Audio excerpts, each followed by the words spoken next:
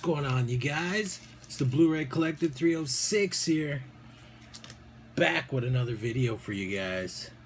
This time I got an unboxing video. This one's gonna be a surprise to me. Usually they're, uh, I kinda check for other unboxings before I do this, but this one I did not.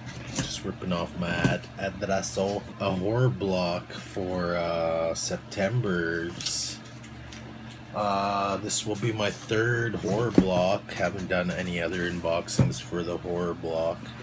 This will be my first unboxing for it. Just because I don't really get much love on my unboxing videos, like my Loot Crate or my Marvel ones. Still don't do them. It says, and that's what's inside. I will show you right motherfucking now say it's from, guys. Do you guys know? I'm Not sure what horror movie that's from. Well, let me know down below what it is. What the hell?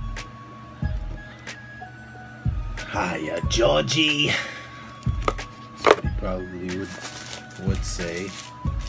What the hell is this now? It says red murder. I was gonna say red rum.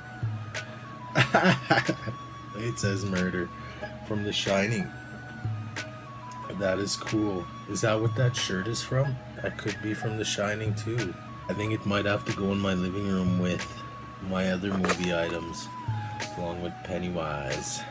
Monster Monstro Bizarro. Oh, look at there's some Bigfoot stuff in here. Museum of the Weird cool. That's something I will definitely look at.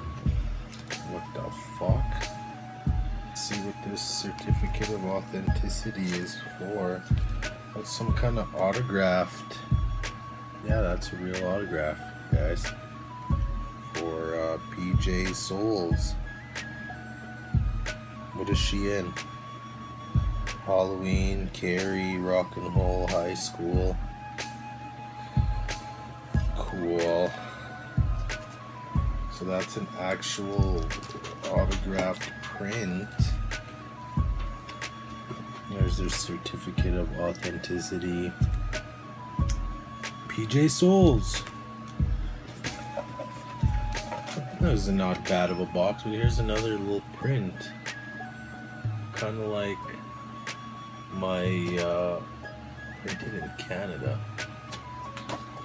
I got a Simpsons one. It's right here. I will show you that at the end of this little video. The Dark Tower art print. That's what that is. The Dark Tower art print. I, I did not know what that was. But there's everything that was in that little box. Next month's horror block will include an exclusive item from Nightmare on Elm Street. Also, next month's horror block contains five exclusives. It says along with some killer exclusive items from Halloween and Hellraiser. I really think that this box is better than Loot Crate, but I've been buying Loot Crate just because of the little exclusive Funko Pops that it was popping out. But I like this one because it comes with cool shirts. Cool shirts. Some cool items like Pennywise. Hiya, Georgie. And this cool thing. Key.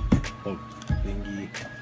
But definitely hit that like button. This is another uh, print that I got in Horror Block. It's a Simpsons, but it's like from Return of the Living Dead. That's fucking cool. So I might need a frame for that one. I don't I don't know what that is though, but I thought this was cool. Hit that like button if you guys think this is cool. And this is cool. My shirt is cool. See you guys in the next video. Yeah.